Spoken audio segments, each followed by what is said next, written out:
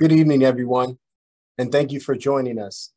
Uh, we're going to start out taking a brief poll. So we ask for you all to participate.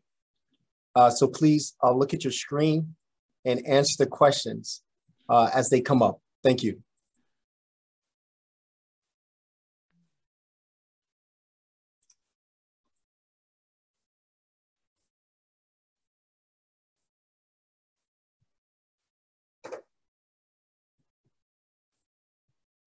Thank you. We like to take a moment of silence to reflect and remember those who have lost their lives to traffic fatalities this year.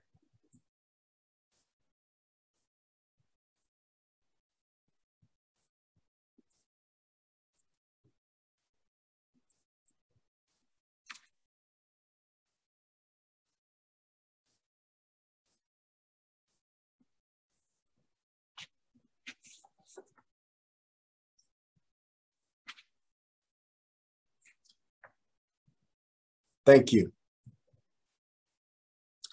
My name is Fred Collier. I'm the director of the Cleveland City Planning Commission. And we would like to welcome you uh, to the Vision Zero Action Plan Community Kickoff Meeting. This is an extremely important endeavor to the participants, the City of Cleveland, and all of our partners.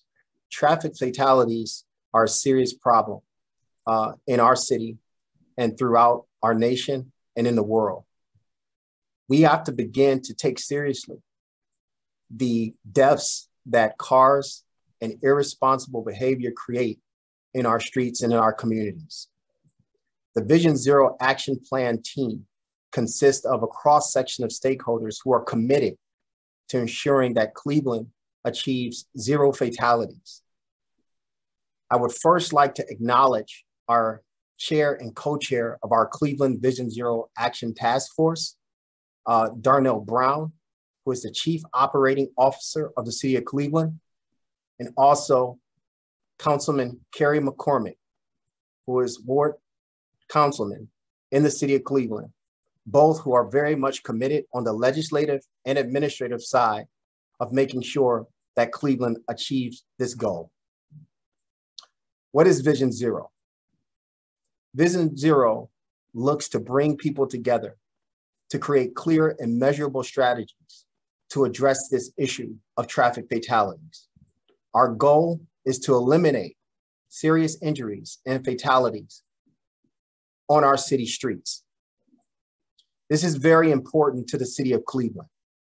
It's important for reasons of equity because we understand that vulnerable communities and vulnerable individuals are more subject to serious injuries or fatalities in the city of Cleveland. It's important because we know the pressures that we undertake financially to rethink our streets and to ensure that they're safe and that they prioritize all road users. It's important also because we know the challenges it takes and the perspective transformation required to change the existing culture and attitude of elected officials, decision makers, and people who are on our streets driving in cars and utilizing our roadways. We also know that it's important because we want to provide options and choice for residents in our city in the 21st century. Some of the work that we're dealing with in Cleveland with respect to Vision Zero is not just a task force of multidisciplinary stakeholders. It's also really mapping out a comprehensive strategy because we know that in order to address this issue, it's going to take the entire system working together under the same value proposition. There are a lot of ways to be involved with the Vision Zero Task, Vision Zero Task Force in the city of Cleveland. You can visit our website, which we will share throughout the program, you can also attend any upcoming community meeting, and we would like to thank the participants for coming to this community meeting tonight. We also would encourage you to take the survey. This will help us find out more information about you. And we also want to make sure that you're plugged into opportunities that we can share later in the program. Tonight, we have a special guest with us.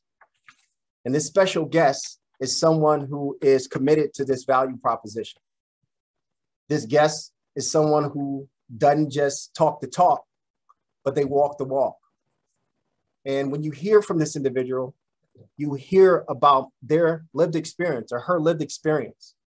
And we believe that she will inspire you to do better because we all need to do better. Karen Korb is a prominent subject matter expert on the intersection of disability and public health, providing knowledge translation, management coaching, leadership development, and policy analysis with the specific elevation of and commitment to centering the lived experiences and personal narratives of disabled individuals are just a few examples of what makes Ms. Korb a distinguished thought leader in the public health sector. She is deeply committed to the inclusion of persons with disabilities at every level of life and has previously served as the Policy and Public Affairs Coordinator for Lakeshore Foundation, an organization devoted to providing opportunities for people with disability to live healthy lifestyles through activity, research, advocacy, and health promotion. She currently serves on multiple boards and advisory councils, including the Alabama FBI Citizens Academy. A friend of mine, Baseline Tennis, the Raw Beauty Health Project, the Health Justice Commons, Alabama Disability Advocacy Program, the Is Able Organizations Advisory Board, the International Tennis Federation, Players Council, and the Sport Integrity Global Alliance General Council and SIGA's Committee on Gender, Race, Diversity, and Inclusion. In 2021, she received a congressional appointment to serve on the Commission on the State of the United States Olympic and Paralympic Committee. She pridefully identifies as a disabled woman who is a full-time wheelchair user. She has many professional sport accolades and is a two-time member of the USA Paralympic team in the sport of wheelchair tennis. Please join me in giving a warm Cleveland welcome to now my hero and hopefully yours, Karen Korb. How you doing? Hey, Freddie, thank you so much. What a, you know, every time I I hear a description of myself, it overwhelms me. I'm like, it's a, it's really just a bunch of stuff, um, and we all do a lot of really great work, and it uh, speaks to the commitment for equity and intentional inclusion for all. So thank you for that uh, warm introduction. I appreciate it so very much. So hello, everyone. Uh, I want to start off with an image description. I'm a disabled wheelchair using white woman with longish multicolored blonde hair, and I'm wearing a, a a deep purple top. I'm also virtually zooming in with you today from the Munsee Lenape lands, also known as New Jersey. And I acknowledge with reverence the Munsee Lenape people, past, present, and future, as well as their sacred land on Turtle Island. I want to thank Vision Zero Cleveland, the City of Cleveland, the Cleveland City Council, all of the local agencies, uh, community groups, the Vision, the Vision Zero Task Force. Y'all have done some amazing work. You've been doing this for a really long time. Um, and all those involved in this very remarkable and necessary undertaking. It is my absolute pleasure and privilege to be with you here this evening. Um, and I'm, a passion, I'm passionate about many things, but none more passionate than the built inclusive environment the participation and the access for all people to live in the healthiest and safest way they are able. So I'm going to begin with what it, what actually is a vision for a safe city? Like what is the vision of a safe community? What is the vision of safety for yourselves?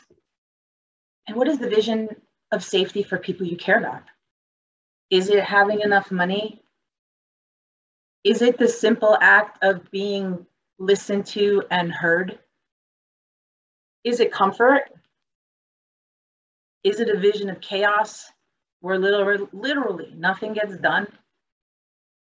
Or is it a vision of abundance, enoughness, of beauty, of freedom, of unity, and perhaps even the vision of a life worth living in a city or a community or neighborhood where you can simply where you can simply be where you can exist and move around without fear of harm or without fear of being harmed. And where you have a sense of of real belonging. I have worked with many communities who are considering adopting a Vision Zero plan. When we talk about safety, so many of the community questions revolve around the questions are like safety for who? Safety for who, Karen? Safety and safety of what? Is it roads? Is it cars? Is it businesses? Will it, will it only be safety for the white people in the white neighborhoods because that's how it's always been done? Or will it truly be safety for all? Will the safety for the communities of people who have been historically excluded, will they be prioritized in this process? Maybe. In order for Vision Zero process to be successful, it's gonna take energy and commitment, not only of our notable elected officials, our politicians, uh, and, and obviously I'm aware that you are all having a mayoral election coming up soon, and I trust that all of you are going to get out and vote, right? But more so, it's going to take a commitment from the people. It's going to take a commitment from the community. You need to share what you need in order to share the safety aspects of where you live, where you work, and where you play. No one, no one knows better than you the people with the authentic lived experiences in our neighborhoods, what you need and what must what must be prioritized for you and the people you love to experience a safe environment. As you already know, safe mobility is a basic right. It is a basic human right. However, we don't always talk about this. When you are Black, brown, queer, disabled, trans, and insert the list of different, the list of historically oppressed people. We know, we know according to our data, that we are disproportionately impacted by traffic deaths and serious injuries. And that having equitable access to safe mobility is something that we must actively advocate for. And I have been doing this for 30 years. And it's not just advocating, it's sometimes downright fighting. So, how do we create trusting and accountable relationships? Because you know, we do have the power, even if it doesn't feel that way. It will always be power to the people. I believe all of us are waymakers. You know, those not only who make the way for ourselves, but in our own processes of liberation, we are deeply committed to making the way for others. In our time together today, or this evening, I want to share with you why this work, and, and by this work, I mean very specifically the work of prioritizing historically excluded, diverse, and intersectional populations. It is deeply personal to me. I trust to inspire you to become involved in Vision Zero Cleveland in whatever capacity you may have available. Because quite frankly, we need you. We really need you. And for those of you who don't know, I have not always had a disability. I have not always been a wheelchair user. And let's go back in time and share a little story with you all. I've always been, mm, I've always been a bit um, lively. I grew up in Germany. Uh, my parents, not military, American dream. They immigrated over here to the States, but I grew in, I grew up in Germany in a little town called Hainstadt, which is now called Hainburg. I lived in a very small rural neighborhood, and my sister Simone, and yes, I know she has the cooler name, whatever, uh, we would always play in front of the house. And I was about five, and we were kicking the ball, you know, like we do, kicking the ball. And the ball went past me. And of course, I ran into the street to get the ball, as many kids do. I will give you one guess as to what happened.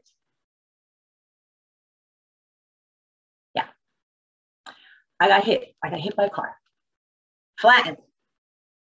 Yeah. It's my car sound. Um, the car ran over me completely. And it was mir- miraculous that all that happened to me was that my ankle got hurt.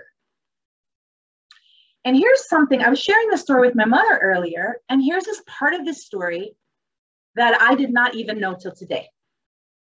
I know what happened as a result of me getting hit by the car, but I did not know what the impetus was that my parents went into action.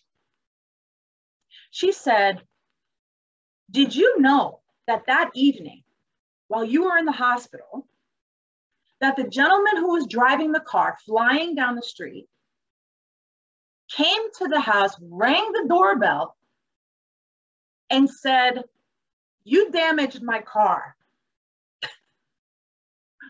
my, parents, they lost it. And here's the crux of this story. As a result, my parents created a neighborhood campaign, which at this time, early 70s, it was literally unheard of especially because of German culture. German culture, we, we do not question authority. So everything's about the rules. My parents got together with the neighbors that had children, and that morphed into conversations with the community, which led to conversations with the city, which resulted in action. It resulted in a speed camera being set. It also resulted in a signage ordinance, which is still completely mind blowing to me because I mean, the signage was uh, the German equivalent of like the children at play signage, right? That we have in our neighborhoods. These signs still exist there today. And I am happy to report no children, no children have been hit and injured since that time. Vision Zero was the goal in our community when it wasn't even Vision Zero yet. So let's fast forward uh, 11 years later. 11 years, so five plus 11 is 16, so 16 and a half. I had a gymnastics accident. I was a gymnast since I was very young. Um, and I became a full-time disabled person, full-time wheelchair user to be specific. And as you all know, there are many different types of disabilities, like many, many different types of disabilities.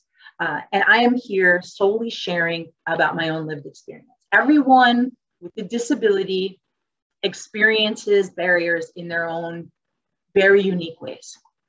So I was a gymnast and I fell uh, during a vault uh, and I broke six of my vertebrae. And when I hit the mat, I knew I was going to be paralyzed. I was paralyzed. I was like, oh no, here we are and I became a wheelchair user. So now what, right? Like what, now what?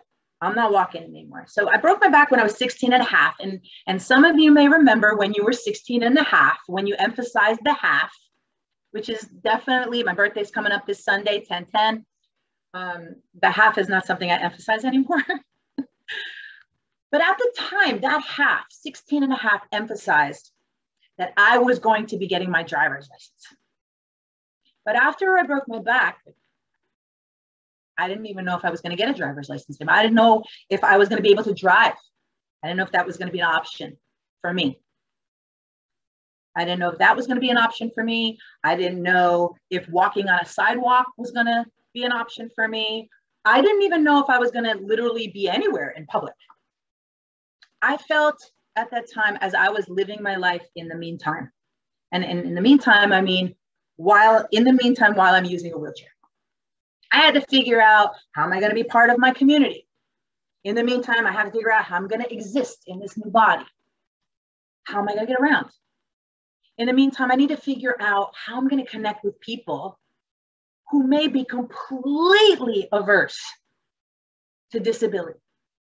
Even current time, people do not like being reminded that disability is a human life experience.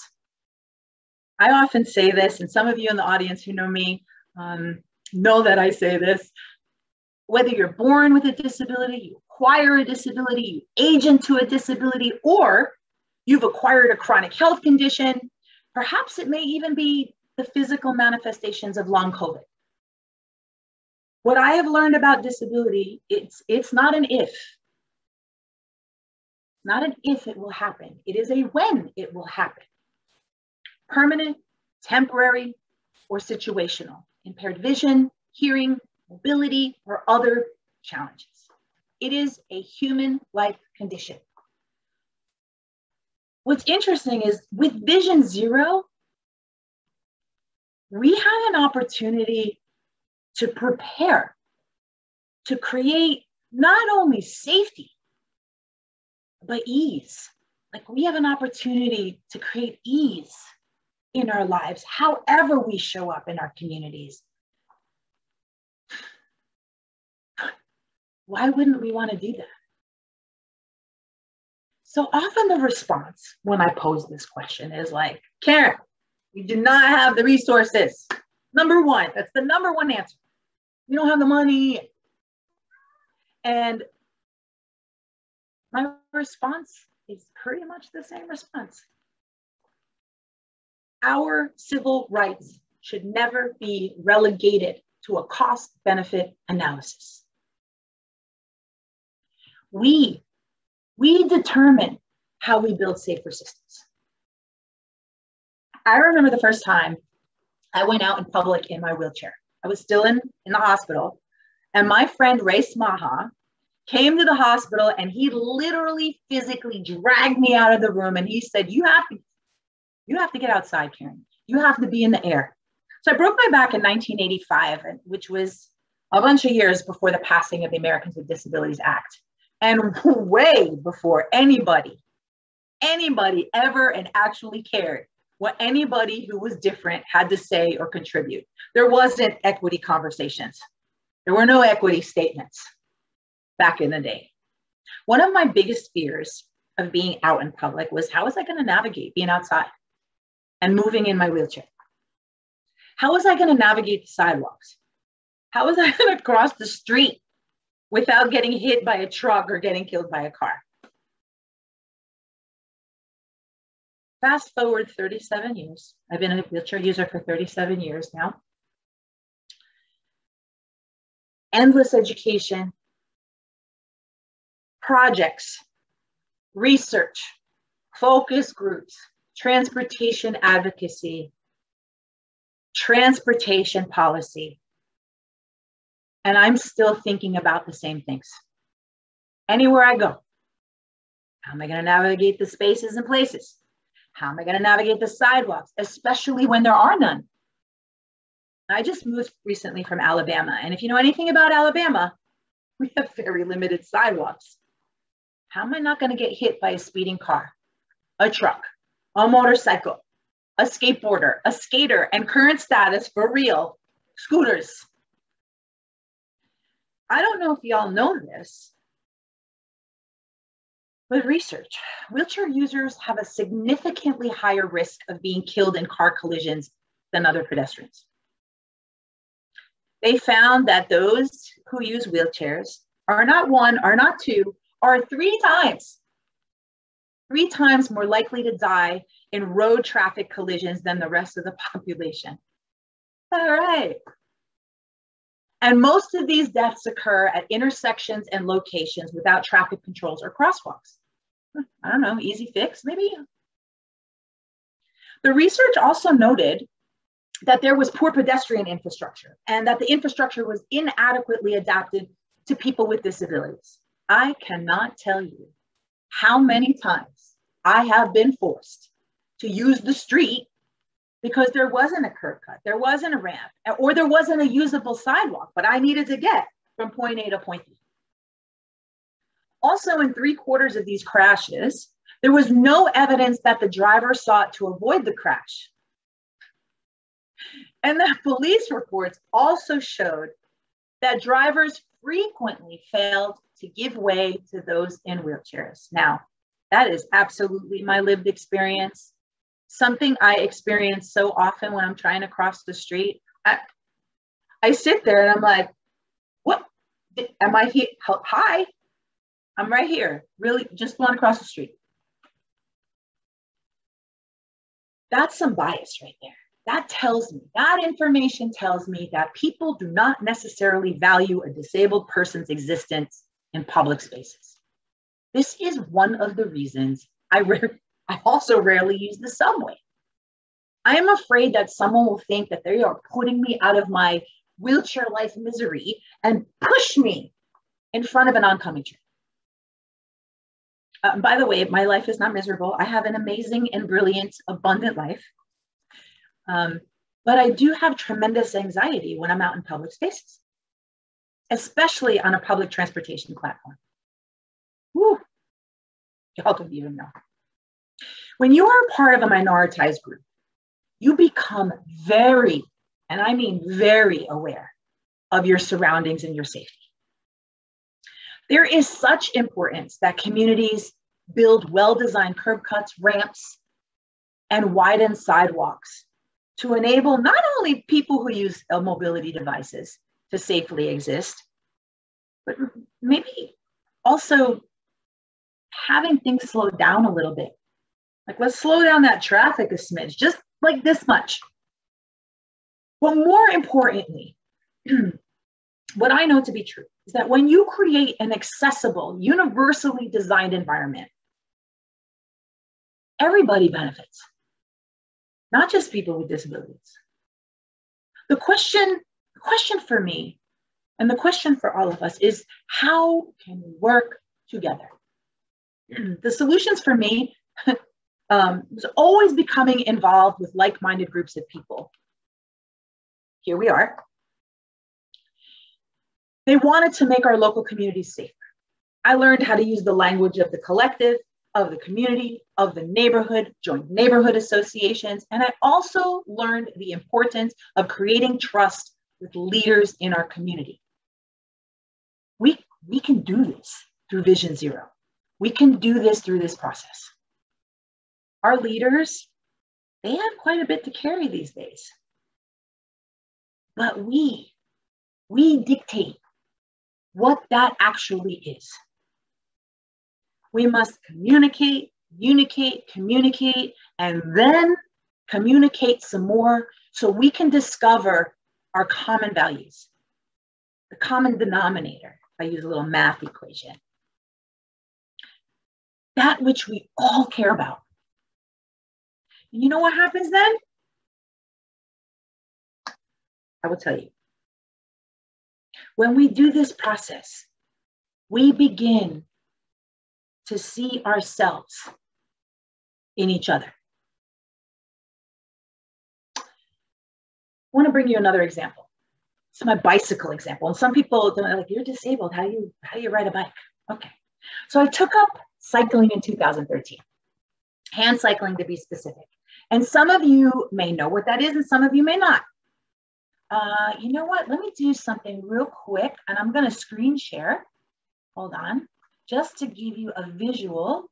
Let's see, which picture do I have? Where do I look the coolest? Hold on, this one. Boom. So right here, this is called a, a recumbent. Um, this is a hand cycle. Um, it's got about 36 gears and Shimano, all kinds of things. Anyway, for those of you who are cyclists in the audience, you get it, right? I know you're thinking like, oh, she's got zip tires on there. Yes, I do. Anyway, let me go back to my stop share. Hold on, bear with me. Okay. So there's many ways to ride a bike when you become disabled. If you are blind, you can ride a tandem bike with a sighted person or a guide. If you have back issues or you had a stroke, you can ride a recumbent bike uh, where you sit and you pedal in more of a lay down way. Um, and there's types of hand cycles. There is recumbent, um, a lay down recumbent, like you just saw, and there's also a hand cycle called a kneeler. So there are some amputees, they kneel and they use their chest and their arms to torque the bicycle. Um, I took up riding in 2013 because I wanted, um, I wanted for my 45th birthday, I wanted to do a road race called the, at the time, the Sadler Ultra Challenge. And the word ultra should have given it away that it was a seven stage race in Alaska. And the it was touted the longest and most difficult hand cycling race in the world. And um, I also want you to know that at this time, I did not own a bike. I borrowed one from my friend Paul Walker, who was gracious enough to loan it to me. And I was like, I'm going to do this race. And I knew nothing about riding my bicycle. When I look back at that now, like, who, who, uh, who does that? Right? Like, what?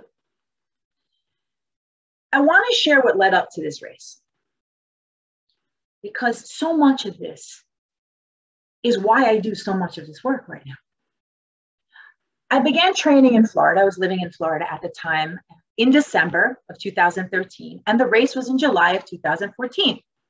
Um, I think I forgot, it's a 278 mile race, by the way, from Anchorage to Fairbanks.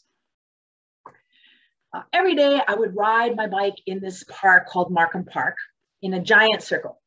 I think it was like a three mile loop and it was flat. And as you may know, Alaska is not flat.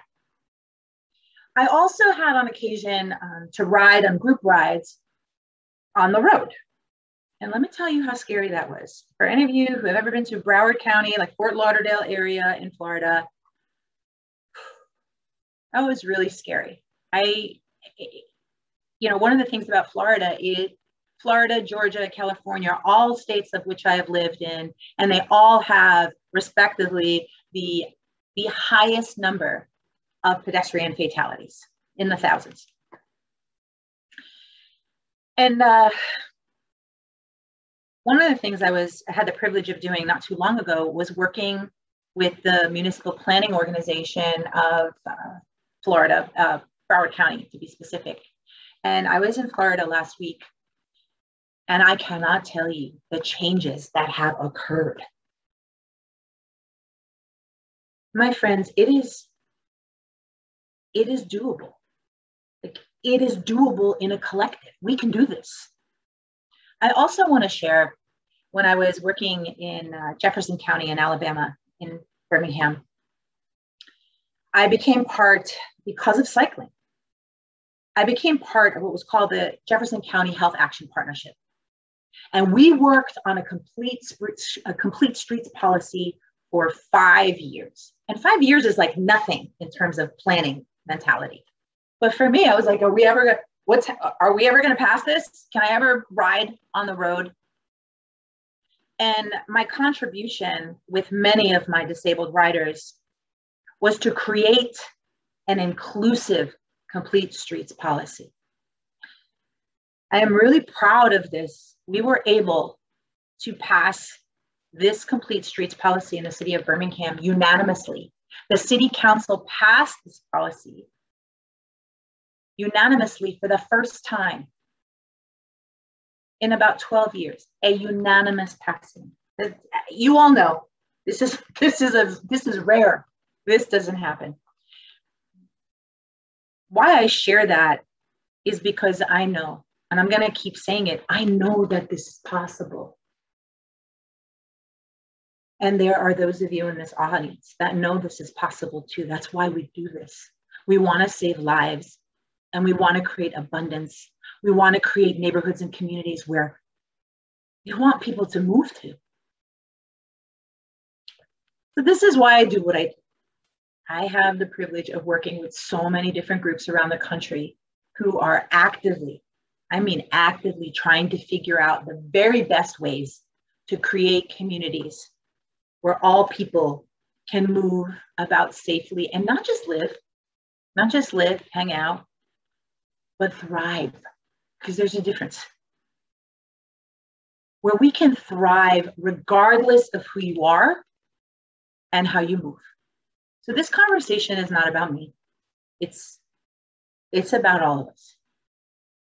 When we think about active transportation planning, believe it or not, people are centered in this conversation. And perhaps you're thinking, I, girl, I've been to meetings. they don't care. They aren't listening to me or my concerns. A mayor, elected official, politician who doesn't get it, perhaps, broken promises, an upcoming election where it's the you know, same old, same old. It may not always seem that people are centered with so many other things and organizations involved, each and every one of us wanting our own piece of the transportation pie, so to speak.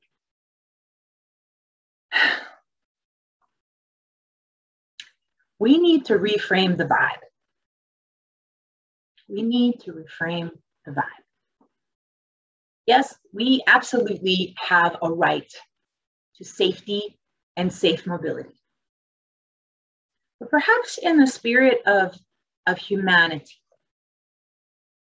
we can create some space to think about our obligation because it is always bigger than ourselves. In my own process, I'm always thinking about other people and if if I'm creating harm. We have an obligation to serve the past, the present, and future generations. And you know what? The planet, the planet herself. This is what I affirm for our entire community. The people who live here, our city planners, our politicians, our elected officials, our neighbors, our mayors, our police chiefs, transportation and public health professionals, community leaders, our loved ones, those who have died unnecessarily, those who own cars, those who ride bicycles or scooters, those who use the bus or the train, Black, Brown, Indigenous, disabled, gay, queer, trans, women, men, older, younger, children, and anyone who I may have missed. What I affirm for all of you is what I affirm for all of us is that we are tender enough to feel. We are present enough to witness. That we are humble enough to really listen, like to really listen and participate. That we are courageous enough to act and be accountable be accountable enough to create real change, like real sustainable change that benefits all of us and generations to come. I'm going to leave you with these final thoughts. And this, this isn't necessarily just about Vision Zero. This is about our lives. You and me, we, we all have to participate in our own rescue. And whatever we're not actively changing, we're actively choosing. And there's a difference between telling somebody what to do and inviting them to a new idea. With Vision Zero Cleveland, we are inviting you to a new idea.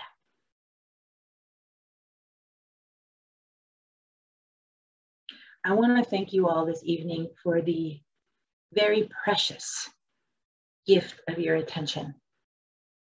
And I very much look forward to working with all of you. Thank you.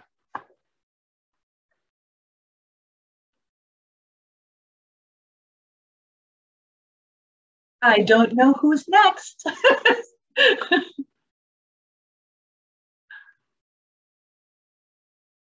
Ready, unmute.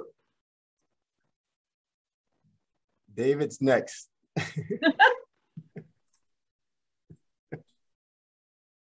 All right. Well, thank you so much, Karen. Um, I think it's fair to say that we're all fired up and ready to take action, you know, based on the inspiring and, and also very real um, opportunities that you outlined. So with that in mind, um, talking about real opportunities, I just want to briefly share before we get into Q&A with everyone, um, the opportunities that you all have um, to get involved. So I'm just going to share my screen here real quick.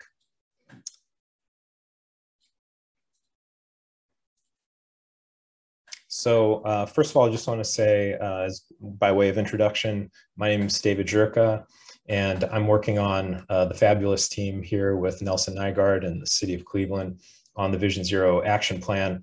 Um, on my team, uh, I'm also really happy to have uh, Roberta Duarte from Areco Consulting, Ben Herring from Page Studio, and uh, a few phenomenal street team leaders, uh, Sonia Matis, Lakita Worley Bell, Ronetta Stallworth, um, and uh, you'll probably see more of us out here on these uh, community events. So um, we hope you come up and say hi and, and you talk to all of us.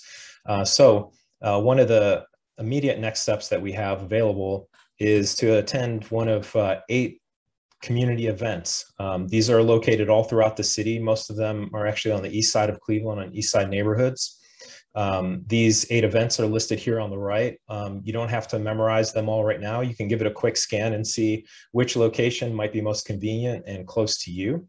Uh, but all of these uh, locations and the RSVP, RSVPs for the locations are available on the Vision Zero website. Another way that you can get involved is to share your ideas via an online survey. Uh, the survey is relatively quick, but also gives you a lot of opportunities to get in depth uh, with your comments and basically help us prioritize next steps for the Vision Zero action plan work. Um, again, these two action items, uh, both RSVP for an upcoming community event and take the online survey. Both are available on visionzerocli.org. Uh, easy one-stop shop to get connected and get involved. Uh, so with that, I'm gonna open it up and, and hand it off uh, to facilitating questions. Thanks. All right. Thank you, David. You know, at the beginning of the program, I mentioned, Karen, that you're my hero. Uh, but after hearing um, your testimony, uh, it was even more inspiring. And I just want to say, you know, we're humbled to have you and uh, for you to be so authentic, you know, with sharing your experience. We just want you to know we humbly and sincerely appreciate you for everything that you have done and that you're a living testimony of what you believe. So we appreciate that. Uh, my task here is to engage you in the Q&A uh, with our uh, audience members, um, but I'm gonna take some liberty because uh, I have a question uh, myself. I was so inspired by a couple of things that you said, and uh, I wanted to highlight a couple of those things and, and then kind of pose my question. You had mentioned um, when we are not acting, are actively changing we are actually uh, choosing by not taking action. Um, that really touched me uh, pretty deeply. And um, thinking about people other than ourselves. Um, that's uh, very difficult in today's world. And uh, we live in a culture where people are not thinking about themselves. And the other thing that I uh, picked up from what you were saying um, because of your lived experience, you know, people tend not to really understand the gravity of something till it hits home. So, from your perspective, why do you think it takes tragedy for the system to act? And why can't, or what do you think the hurdles are to us being more proactive? Does it have to be tragic? Yeah, thank you. Thank you, Freddie, for that um, question and your compliments. I really appreciate that. No, it doesn't necessarily, it doesn't have to be tragic, like to address that first. And um, we are a society, and there's a lot of psychology behind this because we're, we're basically very predictable types of people, right? We have compartmentalized ourselves in um, you know i'm a man i'm a woman and and i'm disabled or i'm non-disabled. I am black i am white. And and when you do some deep studies when you, when you study critical race theory when you take a look at our history uh, you begin to see these oppressive systems that we have all benefited from. We have all benefited especially as a white woman i have benefited from my skin color tremendously. Mm-hmm. and there are so many we people don't want to admit that. We, we really, we are addicted to our comfort. Mm-hmm. And anytime that we're taking out of our comfort, uh, we think it's a personal affront. And that, that is not the case. And this is about collect all of this, all of our process, all of the processes are about collective liberation. And if I receive my liberation and any one of my siblings doesn't, that, that's not collective liberation. People are very uncomfortable with the collective often. Um, I often pose a question in audiences. I said, let me see a show of hands. Uh, and I, I have to give credit. Um, Charles T. Brown, who is an equity expert mm-hmm. um, out of Rutgers, he uh, is the founder of Equitable Cities. He, he did this, and he did this with color. He asked the audience, who in this room would like to be Black? and nobody raised their hand. Mm. I stole it. I stole that example because I was like, whoa, that is so profound. I said, who in this room wants to be disabled? No, but no, no, nobody raised their hands. Mm. And what I thought about that, and this is based on his example, you know, I remember him leaning into the audience. He said something along the lines of, you cannot claim ignorance mm. about what is happening to people who are different. Right. It is apathy. We are choosing to either be silent or not be active in these conversations that create and facilitate change. Yes. And that's where we need to be. It is a process because of our addiction to comfort. Yeah. I mean, I and I could literally talk about this for days, truly. No, I, I feel that, you know, and, you know, we talk a lot here, you know, about changing the culture and, you know, changing perspective and, you know, value proposition you know, and, you know, determining sort of really what is our value proposition and how are you living up to that? You know, we were talking earlier about equity being in the transaction. So how do you demonstrate that? So these are all key things that I think is going to be important for us here locally uh, to really start living that out. I have a question from the chat that I would like to share with you. Um, and this question is from uh, Drusilla. It says, Karen, uh, this question is the Q&A for you, Annie, uh, from Annie Pease, I believe. It says, could you share more about the Broward County example in Florida? What did you remember most about the place of the past and what improvements stood out to you most? Yeah, that's a great question. Yeah, I, absolutely. Um, this came to me, I was doing work, uh, or I do work, I'm a faculty with the National Association of Chronic Disease Directors. Their what they call the Walking Action Institute. And for the past two years, I believe we've been doing that virtually.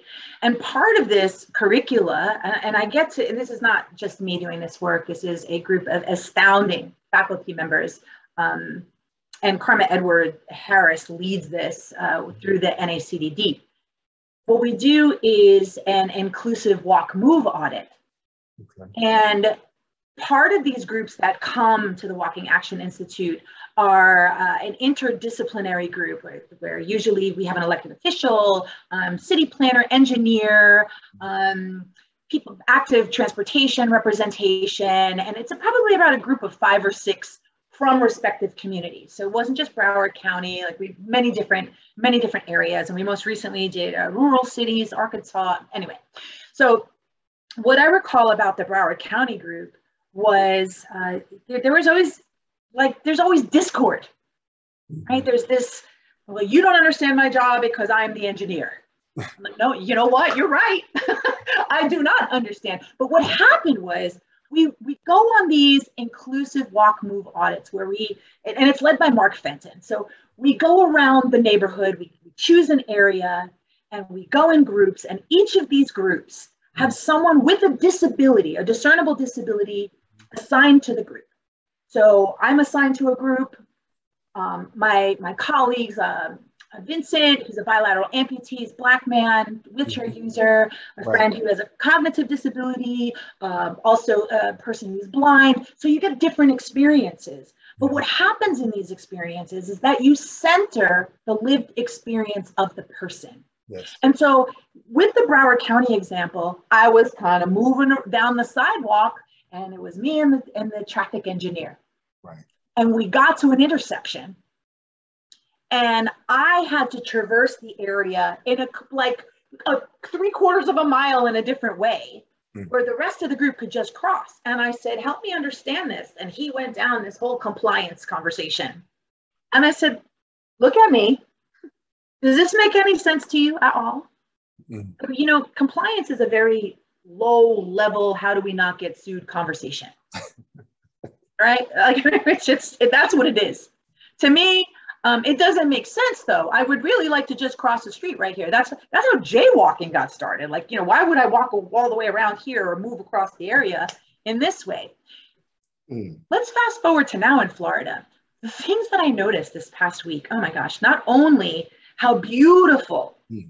the curb ramps were and the side, excuse me, the sidewalks were, but the um they call them the um the rapid flashing beacons. Mm-hmm. Oh, and I will tell you, I was in um, uh, heading into West West Palm Beach County and going into Broward, and I was driving along the beach because I was having a moment. I was like, oh, relaxation for five minutes. And I noticed that I got a little annoyed mm-hmm. with every few hundred feet that there was this rapid flashing beacon. I'm like, slowing me down. I want to get home. And then I took a moment and I said, Karen, this is, are you kidding me? This is saving people's lives. And I thought about the work. And then I thought about all the people that were involved in this process. But these were the things that were so noticeable to me. And then when I went to the beach the following day, I used one of those crosswalks. All the cars stopped. It was miraculous to me I'm like, oh my God, people are like, they are paying attention and I'm not going to die today crossing right. this street. So, so to answer your question, I think it was Annie. Um, yeah, those are the things that were very significant, but it came with a lot of work. It wasn't just, hey, we're going to do this. No, no, no, no. It never is. It mm. never is.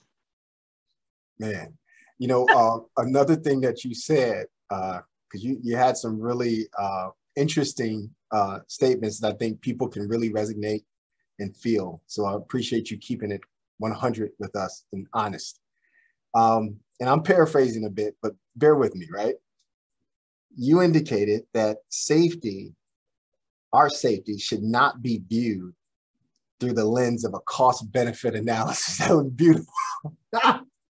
and there's some people who need to hear that uh, here locally. So can you elaborate on that uh, yeah. for a moment? yeah, you know, it's funny.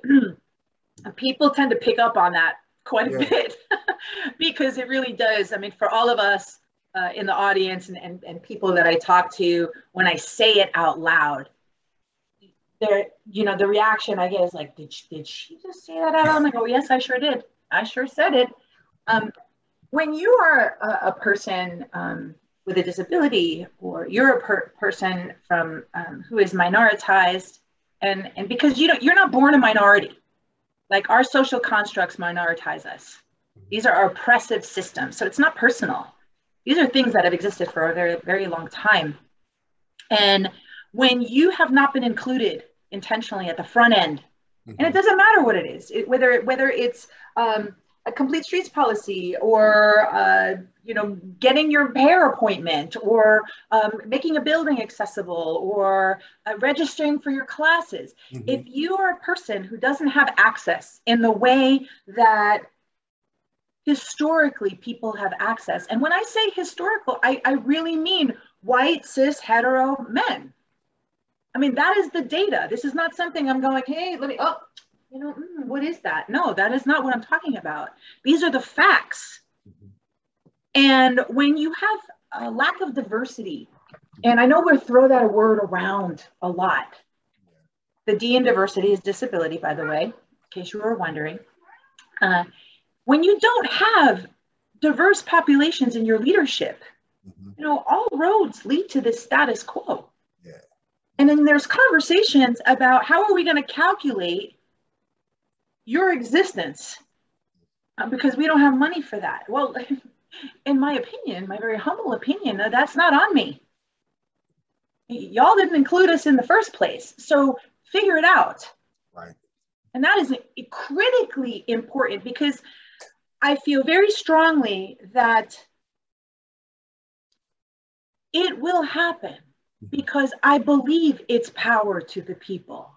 Collective liberation is that we are witnessing this experience everywhere, and we're also witnessing the resistance. Mm-hmm. If you are a person who has never feared for your life in a public space, mm-hmm. you might want to do a little research. You might want to get a little personal education. That's right. I don't know everything. Freddie. Like I really don't. But what I do know about myself is that I am committed to learning and not just learning, but unlearning. Mm. Unlearning. Mm. And there are many ways to go about doing this. I will never labor my siblings who are different than me mm. in this work. The emotional labor that it takes to do this work, to teach people, is insurmountable. So if there's something that I don't know, I'm going to do a deeper dive because I don't want to labor my people who have been oppressed in with multiple identifiers. And I and as you can tell, I get really I get I'm really passionate about it because I have lived with incredible privilege in my life. Right. Right. Right. And you've also experienced what it means to be in the minority, you know, and, and I think that's huge. You know, yeah. that's where the relatability comes, you know, comes in yeah i think i think it's important to note i mean one of the things about uh, our movements in justice i am i am not a person of color i'm not gay i'm not any of the things that multiply marginalized people experience but i want to be the best ally in this space that i possibly can and that relates to justice yes so we have a we have disability justice mm-hmm. and so you know part of that is if you are a person that experienced privilege get out of the lane here you go you know, pass the mic. There's all kinds of expressions for it, but you know, we really need to live that experience. Yes. And I'd like to believe that I do that. You know, am I the best at it? No. I have so much to learn, but that's the point. The humility, like I said in the end of my keynote, I mean, the humility piece, the grace, mm-hmm. the participation of humanity mm-hmm. to me is is the most important thing. Absolutely. There's a question in the chat from Jerry Severda. Hopefully, I'm not butchering your last name, um, but I'm going to read this question because it's pretty okay. uh, intriguing here. Okay. Uh, so he's with the American Heart Association, and he states that many of our members, volunteers, and staff are very passionate about improving street safety and designing roads for the safety of all users. We were excited to learn that the city uh, was considering updating their complete and green streets policy and appreciate you taking uh, talking about the efforts in Alabama. Can you share more about how policies like complete streets align with the goals of Vision Zero? Yeah, thank you, thank you, um, Jerry, for asking that question. I think it's important to note that we often center. I mean, where they're similar is that both of these initiatives and these, this process uh, centers people. Mm-hmm. And sometimes we receive that as these things do not center people because who's usually up close and personal? We see our elected officials, our administrators, our city council, our mayors, or however your city is built um, in the forefront. But what we fail to understand, and this is something that I learned by doing this work, was that you matter. It was, uh, as a disabled person in this space, the city council in Alabama, they, they didn't know that disabled people ride bikes. Like they, they didn't know, you know, they think they're doing a great job. mm-hmm. with our transportation systems. Mm-hmm. But you know what? If your sidewalk is broken, you you are not getting to the bus stop, mm-hmm. right? And we don't. So my point is, they are very similar in they center the lived experience of human beings, of people, and their safety. And it's not just about a complete streets policy, and that's where it's different. Mm-hmm. Because complete streets policy is a component of Vision Zero. And I have a lot to say because, you know, they don't come, complete streets does not come without its flaws. Like I have not talked about policing. Mm. Like I have not talked about implementation. People will lose their minds, right? So there's there's a lot of things to discuss here, and that's why people are very um, emotional and heightened. Yes. Because safety means a lot of different things to a lot of different people. But again, I go back to to these, you know, complete streets and Vision Zero. Ultimately, this is about saving lives and creating an environment where we can thrive. Really. Yes. Um, but not all roads lead to the one.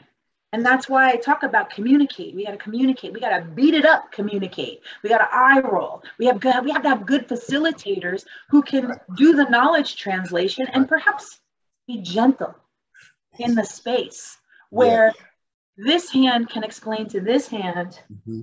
so to speak, you know what they're talking about you know, and provide communication in different ways mm-hmm. because we hear language very differently. Yes, yes. And you know, it's funny you say that because uh, you know this this urgency, right, to get it done.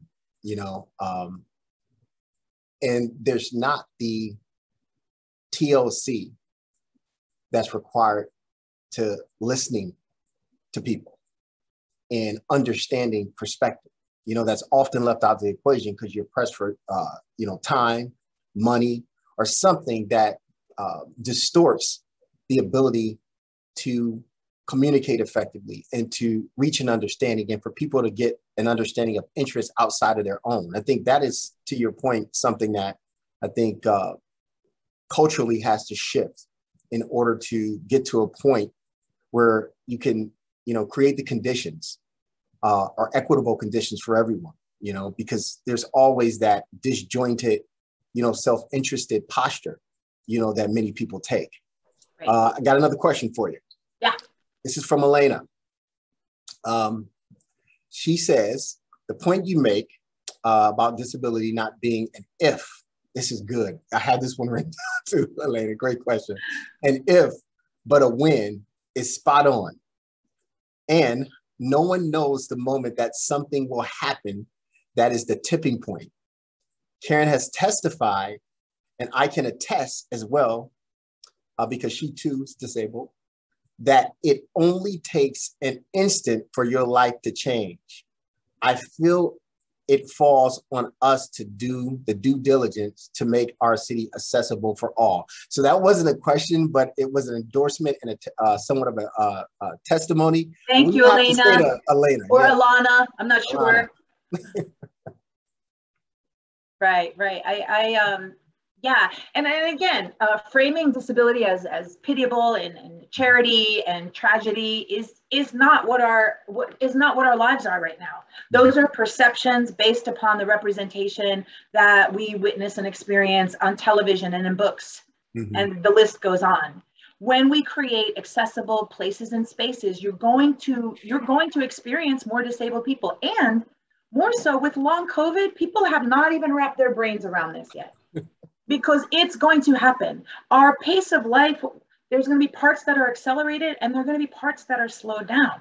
Mm-hmm. You know, and also talking about what you shared earlier, uh, before just before this comment, is um, Freddie, like we we all have expansion work to do. Mm-hmm. If you can't transcend what you don't recognize, if you're an alcoholic and you don't recognize you're an alcoholic, well, uh, nothing's going to happen. However, when you can recognize all of us, all of us, mm-hmm. we have our own introspection and expansion to attend to. Yes. We are, you know, and I can, can, can go off on this, but you know, we're re, we're living in a very dense three-dimensional environment right now. And we are also operating in a technological sphere. Mm. Artificial intelligence. Okay, things are being accelerated. Yes. And because we are very human, we are very fear-based often in these in this process. And so we don't slow ourselves enough down Mhm. to really listen and learn from this way from Mhm. this perspective. And I am a big fan. I mean, I work with so many people and they're like, oh, God, you know, I got to meditate, Karen. I got, oh, I just dropped my earring. I got to meditate. Can you teach me how to meditate? So I do a lot of work in the space of meditation facilitation and just facilitation in general. People really want to know what that secret is. And, and there really isn't a secret to slowing your breath down for 30 seconds. You Mhm. need to do it. Yes. It's, you, you just need to stop and do it. Absolutely. Here's something I want to share, and then I want to uh, go to another question in the chat. So, um, fatal crashes from 2016 to 2020. Um, it showed in the uh, illustration 47% are speed related. Uh, for me, that translates into attitude, right? Attitude about the road. Um, it also states that 33% of fatal crashes have alcohol use as a documented contributing factor. That to me denotes the lack of personal responsibility and concern for others. Mm-hmm. So when we think about the attitude of road users, the lack of empathy for individuals who use our right of ways, how would you say we need to go about addressing that within our community? How does that perspective transformation happen? How do we get people to understand that every time they get on the road, whether they're in a car or other type of device, that it's not just their life that they're putting in uh, their hands, they're impacting the lives that could potentially impact the lives of other people. How do you how do you do that? Because I love what you said uh, with your parents, how they acted, right? And it's unfortunate that it took that experience, you know, for that to happen. But it's a it's a blessing, you know, that it did because a lot of good, and you're doing a lot of good as a result. So just tell me your thoughts about how you can get people to change their minds. Um, I listen. I listen a lot, uh, which is is something that we uh, collectively have a hard time doing. Mhm. Um, we also we're also helpers. Um, we want to fix things that may not necessarily be broken. Mm. Um, also, a a lot of these when we when we talk about you know there are places where you can drive fast right there are places where you can go where you can drive your vehicle fast just not in a 20 mile an hour zone right or a school zone we all have been socialized to know that if you are in a 15 mile if you're in a school zone you're not smoking weed right? Out outwardly and you're not speeding because Right. we know what can happen right? Not necessarily we're going to hurt a child uh, what we can be arrested Mhm. right? Police going back to the policing issue but that's not the point. Why do we i mean let's think about there's so many reasons why we speed. Mhm. why do i speed? I don't know. I hit the snooze button 18 times right and so often when people are rushing me to do things i i have strong boundaries around this and uh, uh i often you know and some of you have heard this expression before I'll say your lack of prep preparation does not constitute an emergency on my part. Hmm.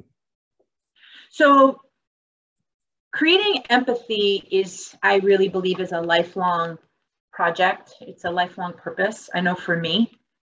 Um, but even addressing where we, again, going back to the introspection, like where do we fall short? How can I be a better human being? And you know what? At the end of the day, Freddie, we cannot, and I say this a lot as well, like we cannot legislate attitudes. Right. People show up the way they show up. Right. And we can eat, we can do one of two things. We can dismiss Mm-hmm. I insert eye roll. Oh, there's fill in the blank again, doing what they do, right? Mm, mm-hmm. eye roll and whatever. Or we can acknowledge them as a human being that hasn't gotten to this place yet. And you know what? Neither have we. Right. Like recognizing our reciprocal humanity is really important because I like being mad at people. I promise you, I'm I'm mad a lot. It's a righteous rage that I have, and then I gotta calm down and uh, know that it is in the collective that we're going to get places. So how am I going to create an opportunity not just for me, but for the person or the people to understand the message in the way they understand the message, mm-hmm. not necessarily my own agenda. Right. For example, I mean, I, I always give the Title IX example. Title IX giving women and girls the opportunity to participate in sport. I'm an mm-hmm. athlete, and so I think this way. You know, Title IX didn't get passed because of women. It got passed because of fathers who had daughters. Mm. And we need to think about that. Like, I don't always, let me get out of the lane. I was doing some work in Trinidad Tobago not that long ago, and it was an all male sports ministry. And we were trying to create inclusivity in the schools. And I said one sentence in a meeting and I got shut down. And me and my feminist self, I was like, oh my God, I'm about to throw the table. But what I realized in that moment, I was like, take it away, Paul. Mm-hmm because sometimes that's what needs to happen. Mm-hmm. You need, I needed to defer to someone else to carry the message for me. Right. right. And again, it goes back to the introspection piece. Wow.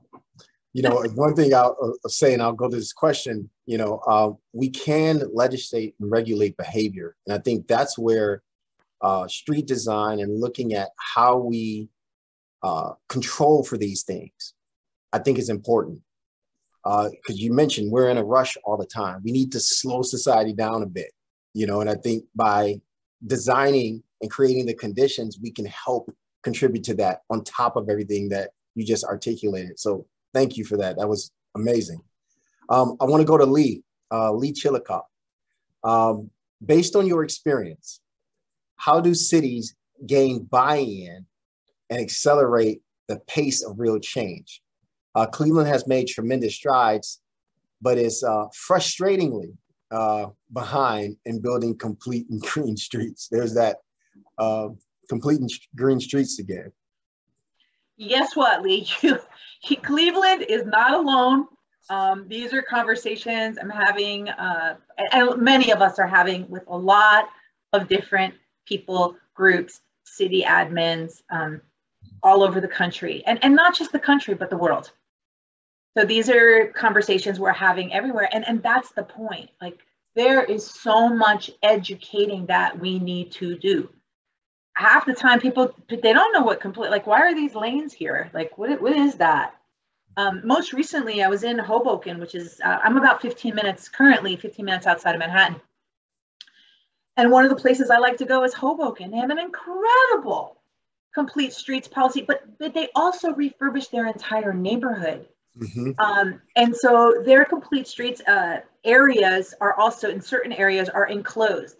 So what I'm witnessing there is not just cyclists, but chair users, hand cyclists, strollers, rollerbladers, skateboard, like everybody is using this area and it's it's normalized to be in these these spaces. Um, yeah, we to go back to your question, Lee, um, it just it takes, I say just uh, loosely, uh, it, it takes a lot of effort um, and calm effort, dare I say.